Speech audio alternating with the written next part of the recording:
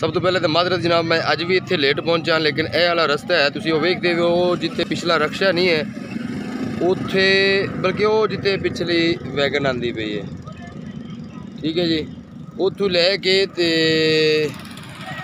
ਇੱਧਰ ਆ ਜਾਓ ਤੁਸੀਂ, ਤੁਹਾਨੂੰ ਨਜ਼ਰ ਆ ਰਿਹਾ ਹੋਣਾ, ਉਹ ਅੱਗੇ ਪਿੰਡ। ਇਹ ਤਕਰੀਬਨ ਜਨਾਬ, ਅੱਧਾ ਕਿਲੋਮੀਟਰ ਸਫ਼ਰ ਬਣਦਾ ਹੈ, ਅੱਧਾ ਕਿਲੋਮੀਟਰ।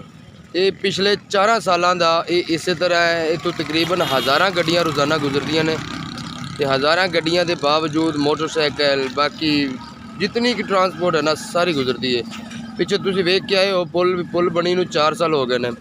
ਪਹਿਲੇ ਬੇੜੀ ਹੁੰਦੀ ਸੀ ਇੱਥੇ, ਹੁਣ ਪੁਲ ਬਣ ਗਿਆ। ਪੁਲ ਬਣੀ ਨੂੰ 4 ਸਾਲ ਹੋ ਗਏ ਨੇ, ਲੇਕਿਨ ਇਹ ਅੱਧਾ ਕਿਲੋਮੀਟਰ ਦਾ ਰਸਤਾ ਜਿਹੜਾ ਹੈ ਨਾ, ਇਹ ਬਹੁਤ ਜ਼ਿਆਦਾ ਜ਼ਲੀਲੋ ਖੁਆਰ ਕਰਦਾ ਹੈ। ਬਹੁਤ ਜ਼ਿਆਦਾ ਇੱਥੇ ਜ਼ਲੀਲ ਹੁੰਦੇ ਨੇ ਬੰਦੇ, ਮੋਟਰਸਾਈਕਲ ਵਾਲੇ ਬੜੇ ਔਖੇ ਲੰਘਦੇ ਨੇ। ਤੇ ਇਹ ਜਨਾਬ ਤੁਹਾਨੂੰ ਮੈਂ ਵਿਖਾਣਾ ਸੀ, ਇਹ ਇਹਨਾਂ ਕਲਿੱਪ ਜਿਹੜਾ ਹੈ ਨਾ, ਮੈਂ ਅਲੱਗਾ ਵੀ ਅਪਲੋਡ ਕਰਾਂਗਾ ਵੀਡੀਓ 'ਚ। ਤੁਸੀਂ ਇਹਨੂੰ ਇੰਨਾ ਸ਼ੇਅਰ ਕਰਨਾ ਹੈ ਤਾਂ ਕਿ ਇਹ ਅੱਗੇ ਪਹੁੰਚ ਜਾਵੇ।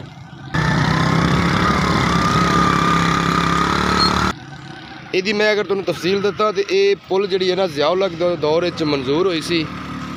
ਜ਼ਿਆਉਲਕ ਗੁਜ਼ਰਿਆ, ਫਿਰ ਬੇਨਜ਼ੀਰ, ਫਿਰ ਨਵਾਜ਼ ਸ਼ਰੀਫ, ਫਿਰ ਬੇਨਜ਼ੀਰ, ਫਿਰ ਨਵਾਜ਼ ਸ਼ਰੀਫ, ਫਿਰ ਮੁਸ਼ਰਫ, ਫਿਰ ਹਟ ਕੇ ਉਸ ਤੋਂ ਬਾਅਦ ਜ਼ਰਦਾਰੀ, ਫਿਰ ਨਵਾਜ਼ ਸ਼ਰੀਫ ਔਰ ਉਸ ਤੋਂ ਬਾਅਦ ਹੁਣ ਇਮਰਾਨ ਖਾਨ ਆ ਗਿਆ, ਲੇਕਿਨ ਇਹ ਰਸਤਾ ਨਹੀਂ ਬਣ ਸਕਿਆ।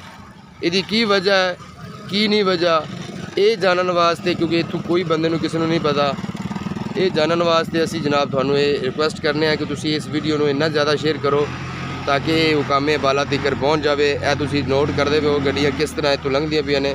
ਤੇ ਮਿਹਰਬਾਨੀ ਤੁਹਾਡੀ, ਇਹ ਤੁਸੀਂ ਵੀਡੀਓ ਨੂੰ ਜ਼ਿਆਦਾ ਤੋਂ ਜ਼ਿਆਦਾ ਸ਼ੇਅਰ ਕਰਨਾ ਹੈ। ਇੱਥੇ। ਉਹ ਜਗ੍ਹਾ ਮਗ ਜਗ੍ਹਾ